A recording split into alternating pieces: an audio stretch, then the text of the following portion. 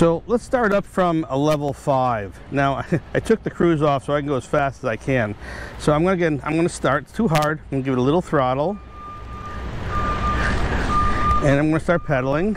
And I can feel the speed just kicking in immediately. And let's see how fast I can take this now. Throttle off, I'm already up to 20 miles an hour. RPM is about 59 on my pedaling. 22. All right, let's get throttle and see how fast we can move this. All right. Oh, let's put in the turbo mode. Woo! Turbo mode. Let's see how fast I can push this. 74 RPM on the pedals. Heart rate 126.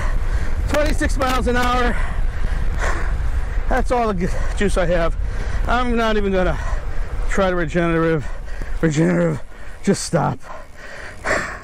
Whew. 141. My heart rate's now 141. Don't tell me you don't get a good cardiac workout with the assist. You can go fast, fast, and hard as you like. Whew. Oh, back down to 135. I'm getting there. 160 is my max.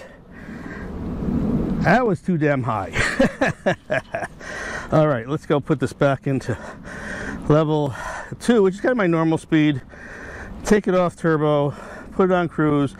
Most people will be do, riding at the legal limit. Let's give it a little thumb throttle and turn this beast around. Get Back Trikes is South Florida's only dealer for Falco e-motor solutions, sales, service, and installation. Give us a call at 754-200-1884 and we can ship anywhere in the U.S. and service you anywhere in South Florida. I'm Joel Lightcatcher.